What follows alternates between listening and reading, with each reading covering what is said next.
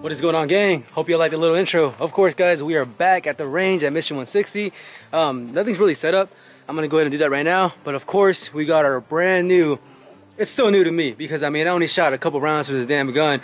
Took it back into Springfield. They finally sent it back. It's been like a month and a half. Now again, normally I was I was about to get mad, honestly guys. I was losing my patience with this damn gun because um, you know, it's, it's, it's taking a while to get shit back. But then again, you know what? It's 100% free they were at least quick and responsive to keep me updated about what's going on with the gun as far as where it's at, you know, with the process and all that crap. Uh, it was good. And they were nice. The representatives were quick to answer and they were pretty fucking nice, if I'm being honest. So, Springfield, get a check mark for that. You guys were amazing.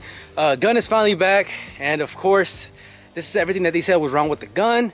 I'll put that right here. So we had a couple of little issues that they said they fixed. Um, gun came back to be pretty fucking dirty if I'm being honest. I mean, that's fine. If they were testing how they say they were, I would expect it to come back. i rather, i rather it come back dirty than clean it, which is how I sent it in. I cleaned the fuck out of the gun before I sent it in so they can see it.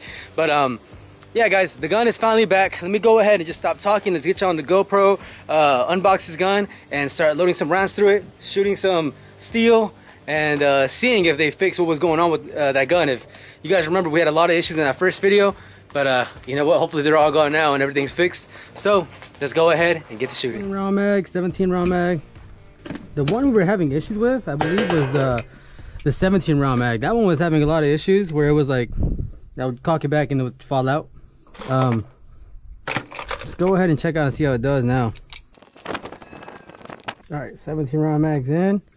Let's go ahead, guys, and uh, finally be able to shoot the fucking Prodigy, man. Mag is, yeah, it's loose, but I mean, it is what it is. One ready to go. Okay, finally.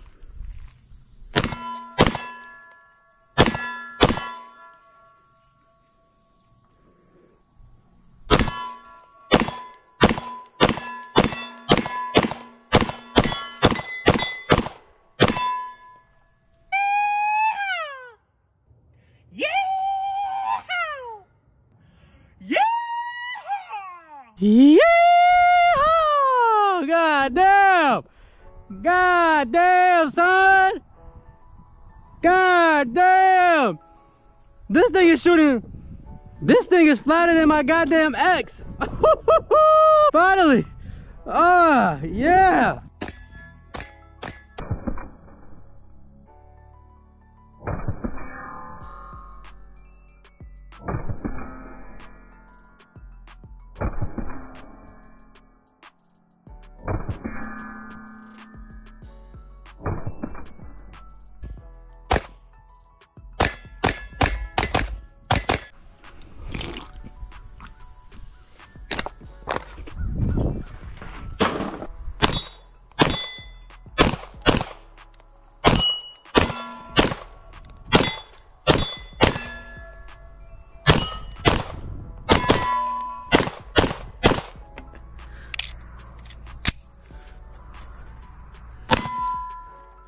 Buttery.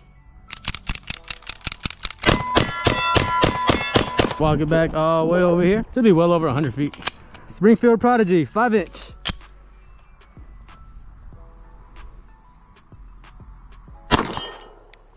Oh yeah. Very nice, very nice.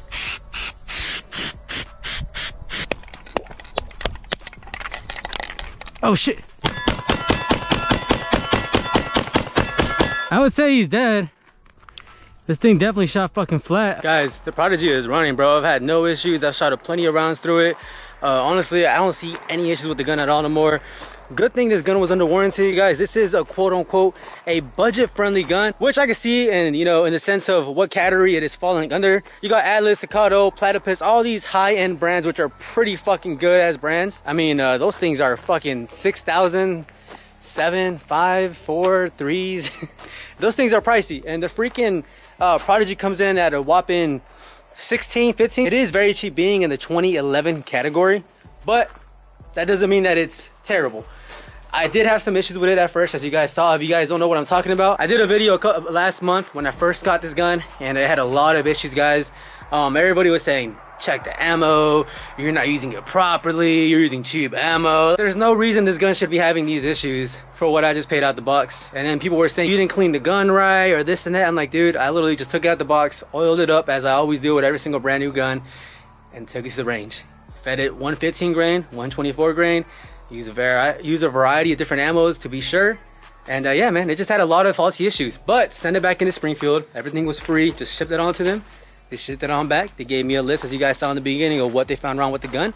They fixed it. They communicated properly, and they sent me their gun back. And now here we are. So far, no issues. If there is any other issues and I do find them, I'll do the exact same thing that I did the first time. Send it in. It's unfortunate if there is more issues. So far, I haven't found any.